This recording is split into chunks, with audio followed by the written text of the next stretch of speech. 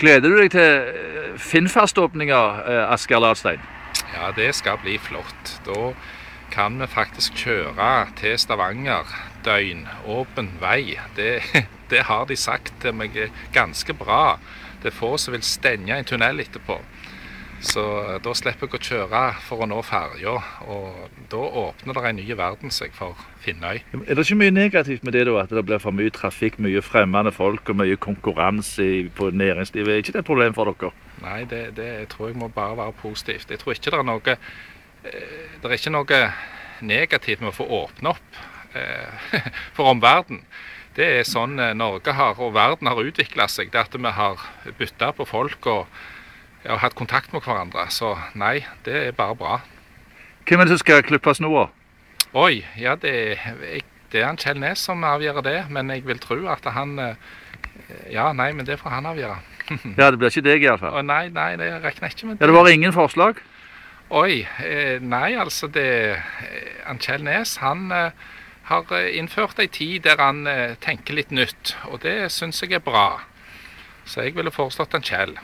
Så du, eh, ja, ok. Og i fjor, da, eh, du var jo veldig glad for at eh, boplikta ble fjernet i Finnøy i fjor.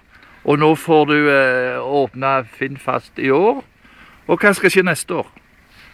Ja, det må være det at vi begynner å, å, å få bygd ut eh, i et eh, nøkternt tempo boliger for eh, folk på Finnøy. Vi har hele veien prioritert eh, Finnøybuen. Vi har vært stolte over det vi har fått til av eh, å bygge boliger for alle. Vi har fått til å bygge boliger for de som er enslige. Og, og vi har kjempa gjennom hus, bostad for bostad i finansiering med husbanklån, og det er òg nå veldig positivt at de, alle boligene vi har tilrettelagt, eller planlagt, de er tilrettelagt for husbankfinansiering. Så vi er veldig opptatt av at vi er den bedriften for Finnøy. Vi vil ikke miste det av syne, men, men da syns vi det er en styrke at vi òg får eh, selge til noen som flytter inn til Finnøy. Og det er òg styrke for Finnøy at vi øker befolkningen litt. For det er negativt de årene vi hadde med nedgang. Men nå skal det bli oppgang.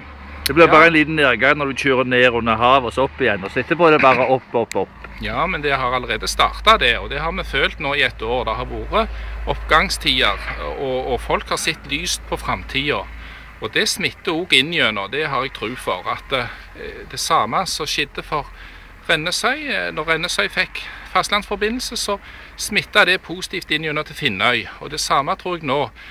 Når vi får fastlandsforbindelse til Finnøy, så, så vil det òg smitte til resten av kommunen inn til Stjernerøy og, og de andre. Ombo. Ja. Flott, det. Da får dere lykke til. ja, det blir spennende år.